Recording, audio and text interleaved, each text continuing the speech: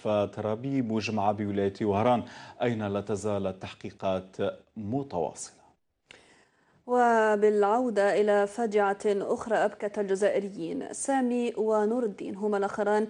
كان ضحية لضغوطات نفسية كانت تعاني منها أمهم أين رمت بهم من الطابق الخامس للعمارة التي يقطنون بها بحجوط ولاية بازا. القصة الكاملة لهذه التراجيديا مع توفيق الأمين ضيف الله. التاريخ الثلاثاء الحادي عشر من شهر أكتوبر. المكان مدينة حجوط ولاية تيبازا. الساعة كانت في حدود الثامنة ونصف صباحا. الزوج قبل أبنائه وخرج للعمل بعد أن حضرت له زوجته القهوة. ودون سابق إنذار زوجته التي تعاني من اضطرابات نفسية أقدمت في لحظة جنون على إلقاء نفسها وابنيها. سامي البالغ من العمر عشر سنوات ونور الدين ثلاث سنوات من الطابق الخامس للعمارة التي يقطنون فيها. ذاك النهار الصبحية ناض باس ولادو في زوج سلم عليهم قال لها ناضت هي نورمال طيبت له قهوة كذا من ملهي باس ولادو قال لهم بكا نروح نخدم على ولادي.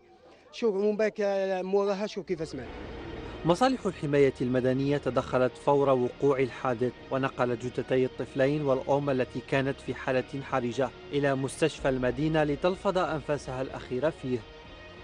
في حدود الساعة التاسعة وربع وصلتنا جثتي الطفلين أحدهما في سن سنتين وثلاث أشهر والآخر في سن 19 قرابة سنة يعني معه والأم كانت في حالة يعني يرثى لها. مع الأسف ساعتين وتقريبا ثلاث سوايع من بعد توفات.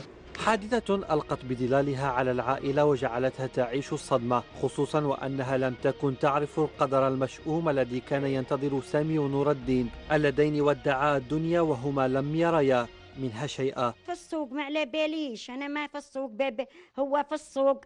قال لها قال لها نروح نبيع قالت له قال لها راكي مليحة ولا ما كيش مليحة؟ قالت له راني مليحة راني لاباس عليا روح تبيع حتى رسلوا له قالوا له المرأة شوف شوف ما كنتش متوقع كاع ما كنتش ما أنا راني ما عباك بلي مانيش مليح. والله ما راني مليح مانيش متوقع هذه. الكارثه حلقة جديدة في مسلسل الجرائم المرتكبة في حق البراءة الذي عرف انتشارا كبيرا في الجزائر مؤخرا دون وازع ديني أو رادع قانوني واضح.